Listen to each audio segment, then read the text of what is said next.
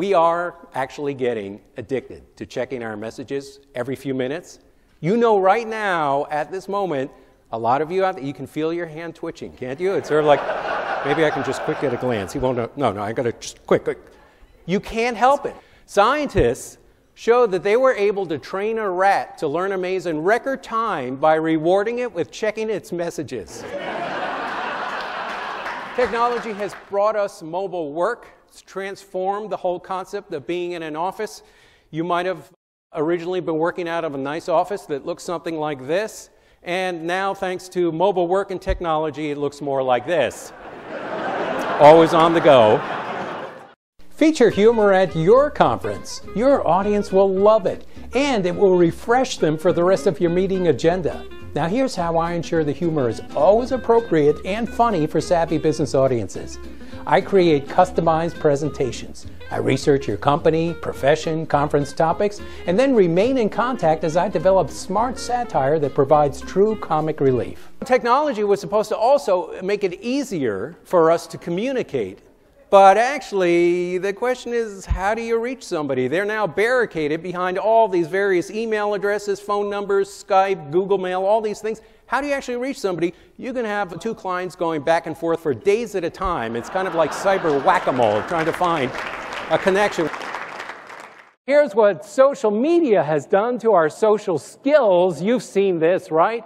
Two colleagues out for a business lunch, and instead of speaking with each other, they're engrossed in their phones. And you know what's really sad? They're texting to each other. I know, crazy, right?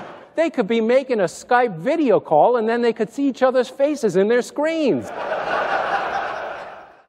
autocorrect, don't you love autocorrect? You know what autocorrect does. Autocorrect thinks it's so smart that it's going to correct what it perceives to be your mistakes and change it to what it thinks is what you're trying to say. So what happens, you'll send out a text that you typed, you thought, I'm forever indebted to you, will come out, I'm forever inept to you. or who knew the meeting deadline would be a mistake? It comes out, who knew the meet dead would be a steak? Or you might write, after passing gas station, bear to left, and it comes out, after passing gas, strategically best to leave. An app is out now, very exciting, and allows you to speak to your phone. It transcribes it into a text message, sends it to the recipient's phone, and a voice synthesizer speaks the message. Isn't that amazing? Do you know what? That's almost like making a phone call. So, because of our addiction to social media and all the things that we have to do with our work, we need time management to try to balance all this out. And one of the most important components of time management is multitasking. Now, as you know, multitasking is the ability to perform several tasks simultaneously without paying sufficient attention to any of the tasks. That's what multitasking is.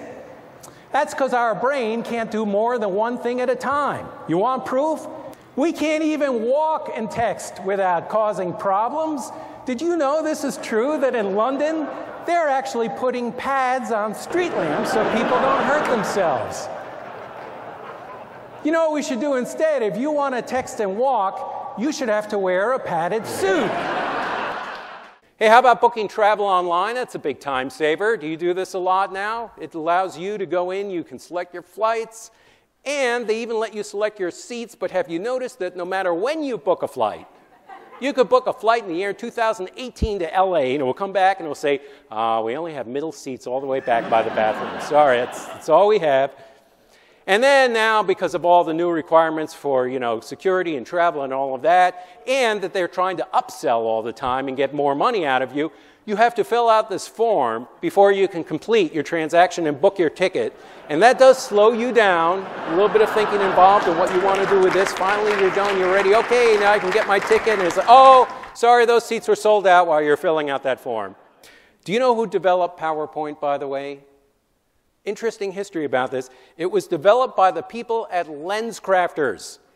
Yes, what better way to increase your customer base than to develop a program where people will sit in a darkened room for hours on end looking at slides that appear like this. By the end of the day, they will be in need of corrective vision.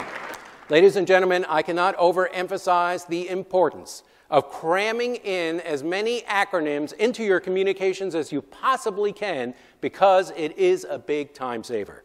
Let me show you. For example, you might get an email that says something like this FYI, CFO needs ERISA, USEB, SCP, PBCG, CAA, OPED, ADEP. You, you actually understand this, don't you? oh.